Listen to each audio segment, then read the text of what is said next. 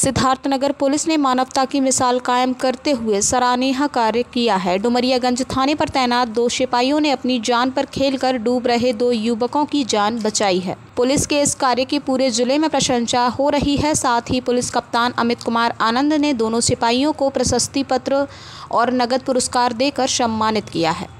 Siddharthnagar police का ये मानवीय चेहरा। उस वक्त देखने को मिला जब कल सावन के पहले सोमवार को जल लेने के लिए डुमरियागंज कस्बे से गुजरने वाली राप्ती नदी पर बहुत सारे श्रद्धालु पहुँचे थे। इसी बीच राप्ती नदी पर जल लेने गए दो श्रद्धालु धर्मपाल और सूरज नदी में डूबने लगे। उन लोगों को डूबता देख वहाँ ड्यूटी पर मौजूद डुमरियागंज थाने पर तैनात सिपाही संदीप यादव और चंदन सिंह फ़ौरन नदी में कूद गए और अपनी जान पर खेलकर दोनों युवकों की जान बचाई। पुलिस की इस वीरता और सराहनीय कार्य को वहाँ मौजूद सैकड़ों की संख्या में लोगों ने देखा और दोनों सिपाहियों की खूब सराहना की।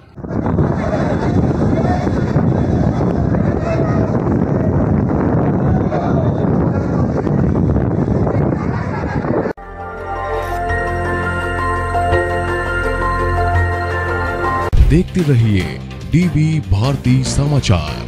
नज़र हर खबर पर।